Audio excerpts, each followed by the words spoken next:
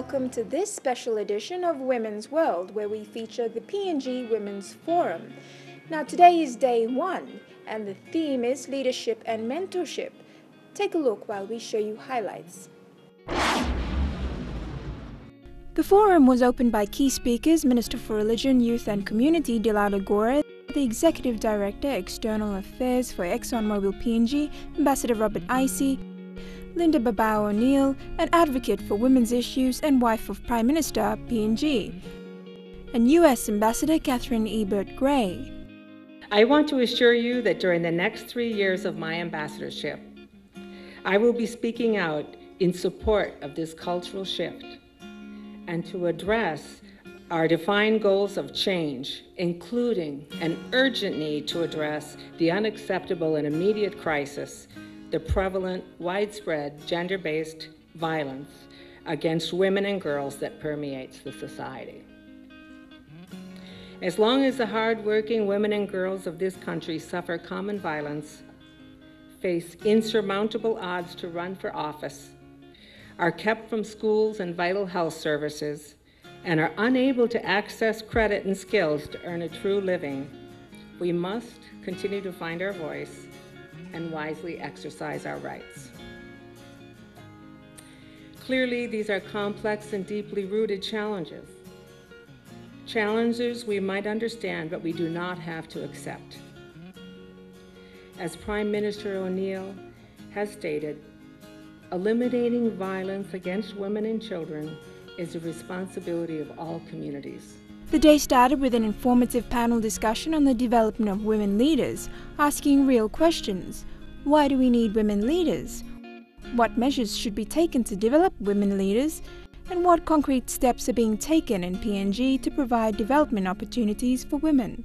Experienced panelists included Teresa Jaintong, President of the National Council of Women, Ariane Kasman, YACA Coordinator, Transparency International PNG, Joshua Kiruhia, Project Officer for Equal Playing Field, Kepas Pound, Women's Advocate and former Director of the Law and Justice Sector Secretariat, and Dame Carol Kidu, former Minister for Community Development.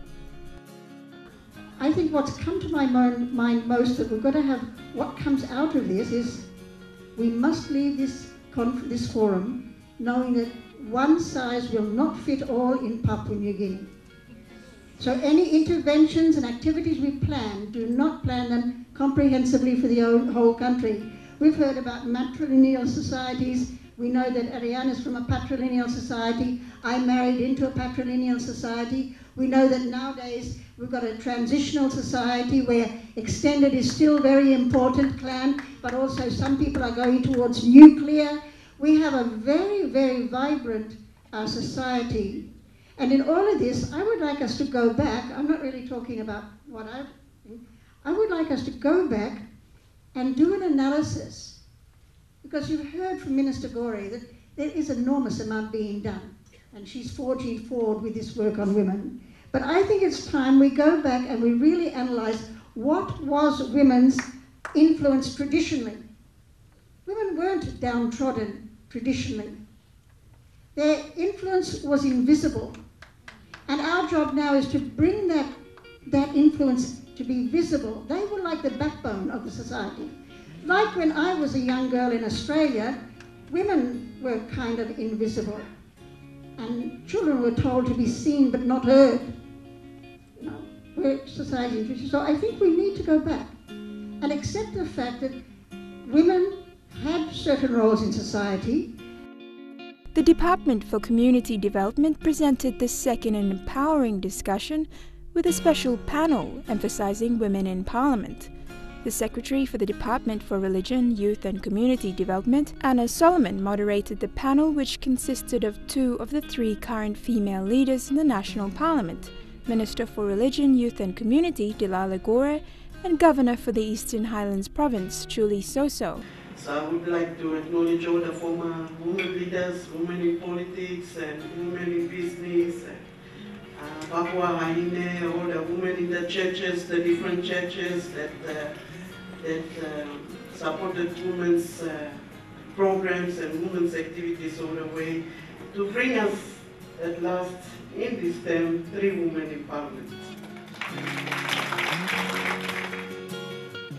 The third session to be delivered at the forum was a special set of keynote speakers. Papua New Guinea's very own Dr. Cecilia Nembou, President and Vice Chancellor of Divine Word University. Dr. Cecilia's milestone was set in history recently by becoming the first Vice Chancellor of a university in Papua New Guinea.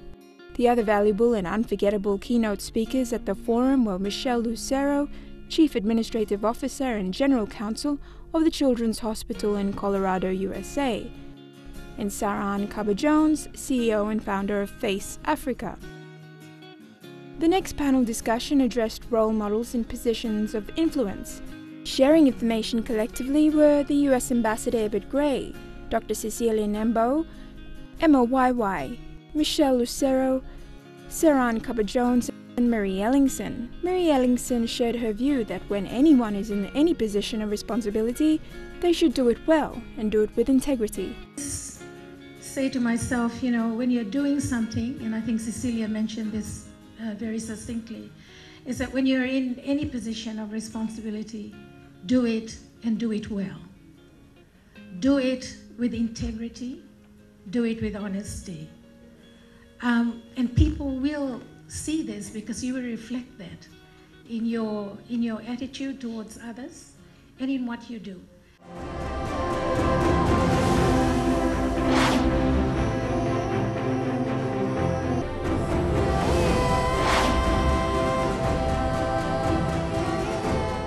Back to Women's World. You're watching a special edition featuring the PNG Women's Forum. Now, this is day two, and the agenda is safety and security. Keep watching as we show you highlights. The second day of the forum was opened by Stephanie Copus Campbell, an executive director for the Oil Search Foundation, and GT Bustin, president of the PNG Tribal Foundation. You cannot run away from your problem. A problem is a problem until you get to the root of the problem. So, when we're talking about violence in PNG and violence, gender based violence, violence against women and children, Mesa Ting wanem astret lo display heavy yumigat lo Papua New Guinea, wanem astret lo display something. How do we address the root of the problem in our country? Following the day's theme of safety and security, the first topic of panel discussion was eliminating gender based violence. Among the panel were leading representatives from Femili PNG, the Family and Sexual Violence Unit, United Nations Population Fund, among others. Honest discussions cover the type of efforts effective in eliminating gender based violence, what lessons have been learned, and an important question which can be asked to everyone what can you do to eliminate gender based violence in your community? The presentation for the Women of Courage Award was also presented by the US Ambassador Ebert Gray to award winner Winnie William. Winnie William is from Southern Highlands Province and manages almost 20 health clinics, aid posts, and voluntary care council centers, which provide primary health care and HIV/AIDS services in the unserved remote areas in Southern Highlands and Hela Province. She also helps taking in women and men who are tortured after being accused of being sorcerers. Winnie says that she could have never have imagined receiving such award for her goodwill. Most of the women who seek um, shelter from us are homeless, uh, widows, I could say, and uh, they come from polygamous family. And the torture that they experience is more inhuman, I could say, because uh, they're tortured in a way that uh, you could not imagine a man doing that because I guess he, he, he comes from a mother. She said that she witnessed people who come in with horrific wounds, not only on their body, but also their genitals. She said that at times people would chase them and even stone her clinic. Her only hope for the future is that people will come to their senses and accusations and tortures would stop. The horror of seeing the women suffer, especially the physical injuries they had on their bodies. And I could say the genitals really made me feel that someone has to stand up. Those who are really suffering, because mostly it is in the rural areas, I would be happy to see justice is prevailed for them. Ambassador Ebert Gray said that since 2007, the U.S. Embassy had given out International Women of Courage Award, and this year's nominee was well deserving of the award. She said Winnie steadfastly placed her own life in danger to save other women from horrific sorcery related violence. And I'm so proud to have this day with her and to honor her. Winnie has done so much for her community and for the women of this country and has shown true courage at personal risk. She also brings expertise, which is recognized by all of us as so essential for this community and to make a difference. Miss Winnie William is a medical professional and serves as a Catholic Health Secretary for the Diocese of Mendi. She received her degree in general nursing at the School of Nursing in East New Britain Province. She later went on to complete her master's degree. She is a wife and a mother of three children. The pressing and important topic of eliminating sorcery related violence was also discussed through an equally important panel comprised of Anton Lutz from the Lutheran Mission in Enga Province, Ruth Kissam, Director for Partners for Change, and Lily Be'Soer, founder of Voice for Change. Lily was also a panelist at the 56th session of the Commission on the Status of Women at United Nations headquarters in New York, 2012. Women's rights continue to evolve in Papua New Guinea, and with that said, the next panel discussion for the forum was Legal Environment in PNG Know Your Rights. Panelists like Nicodemus Mosoro, Deputy Secretary for Restorative Justice, Justice Administration, covered alongside the other panelists the legal landscape for women's rights, the steps required to obtain justice, and legal avenues available in PNG. To be honest, thank you for the accommodations, but we didn't want to come that far.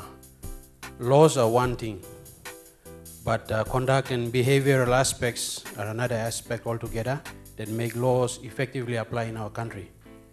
We can have uh, well-drafted laws, well-researched laws, make reference to good precedent elsewhere, but the implementation aspect of it is, is another ballgame altogether. And the government admits to that fact. The government is competent and capable of having good laws, but then it requires all of us in this room to make legislation work for us. It all boils down to attitude, mindset change, all those kind of things together. Those are all part of the whole equation of a good uh, legal system in, in, in a governance system or in particular a democratic society. Apart from the main panel discussions taking place, various workshops were also run. The Social Entrepreneurship Workshop was run by Saran Kaba Jones as a mentor. Jones pointed out five factors that are required to start up any social entrepreneurship. These factors are resourcefulness, passion, courage, commitment, and willingness to take risks. As the day was closing in, a signing ceremony took place between the Living Light Foursquare Gospel Church and the Port Moresby Japanese Embassy. This event was significant as it was witnessed by the US Embassy, showing that the United States of America and Japan go hand in hand in a collective effort for Papua New Guinea. The signing was for the funding of the Human Resource Development Center at Kaugere. Japan's uh, Prime Minister Shinzo Abe, as you know, is insisting that we should seek for the society where women shine. So this is his own initiative, and the government of Japan is pursuing this uh, initiative in various ways. in this uh, uh, country, Papua New Guinea, we also uh, made effort, uh, it's making efforts to uh, promote the gender equality and uh, elevating gender-based violence in all aspects of the society. With this regard, I am very happy that today we'll sign a grant contract up to uh, 68,000, which is approximately uh, 200 kina, 200,000 kina, uh, with Living Light uh, square Gospel Church uh, to build a resource center for women in Kaugere in Port Moresby. the church currently provides shelter to survivors of uh, gender-based violence, and they are treated through technical support funded by US aid. This new resource center built by the grant will, be, uh, will enable the church to provide enough space to rehabilitate the survivors through counseling and examination programs. The new resource center will also provide training space to help women acquire basic life skills such as uh, sewing and cooking. I believe the new resource center will contribute to our common go goals. Gender issues and uh, gender-based violence in Papua New Guinea is one of the major challenges in development. I believe that this Women's Forum is an important platform to strengthen the strategic partnership towards achieving the gender equality, women's empowerment, and welfare in Papua New Guinea. So the new resource center will, uh, is currently under construction. Hopefully will be completed uh, this month. And, um, and it will provide a, a, um, a ample, ample spaces for, for women. It will have conference room, it will have um, safe and secure counseling rooms for, for women who go to the, um, the NGO for, um, for counseling services. And most importantly, this project will not be possible if it wasn't for a joint partnership with the uh, US Embassy. And also, we've had that New Zealand, New Zealand High Commission has also come on board. They've given funds to purchase some equipment for once the resource center is completed. Uh, such as generator set and air conditions to fit in the building once it's completed. So we are happy. We are happy that we have this uh, trilateral cooperation between uh, three countries who are assisting um, organizations to carry out their projects effectively.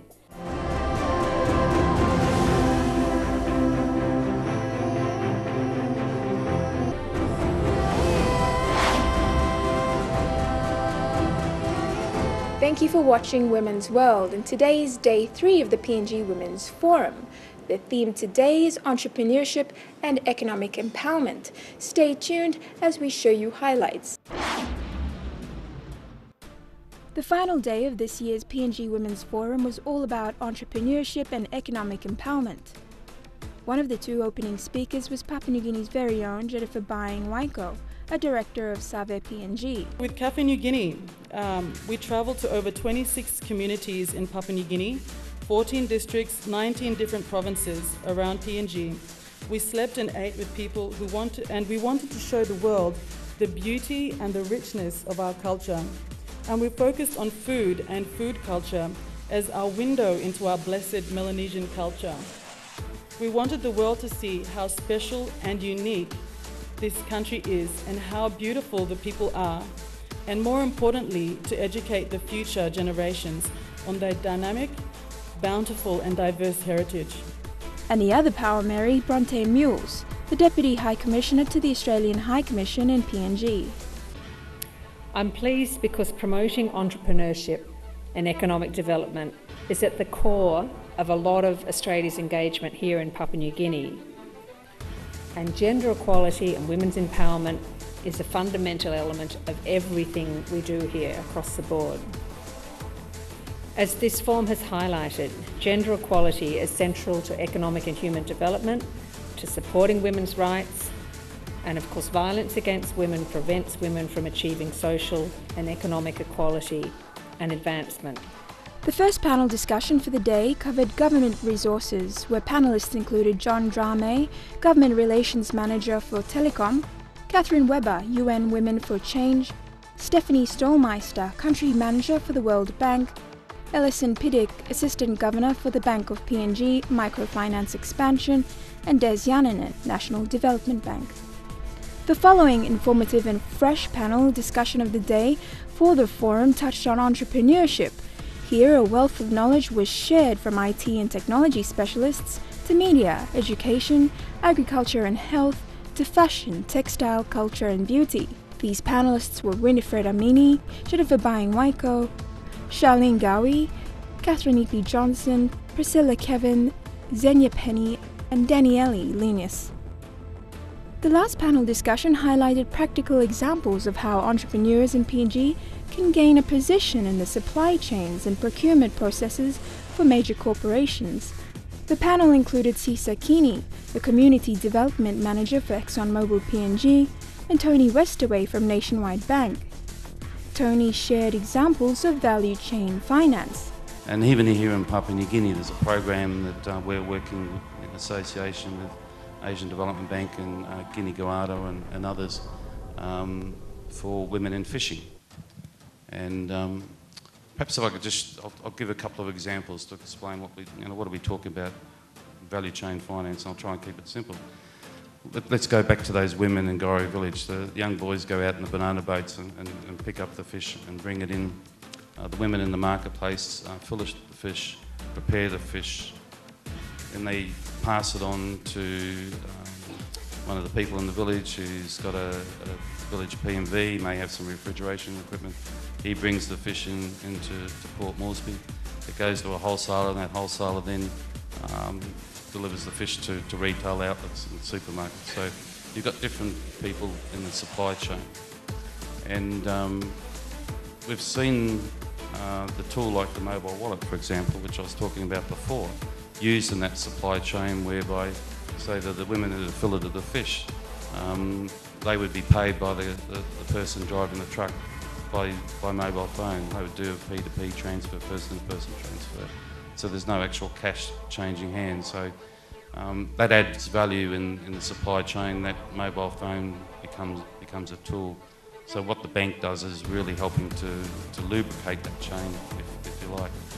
The final day was wrapped up with summaries from the forum's special guests, Michelle Lucero and Saran Kaba Jones. They not only covered all three days, but invited all participants to share their pledges. Pledges that reaffirm the commitments each participant makes to each other and to their communities. If you don't mind sharing your pledges or ideas that you have on ways that you think you want to go back to your communities and give and give back.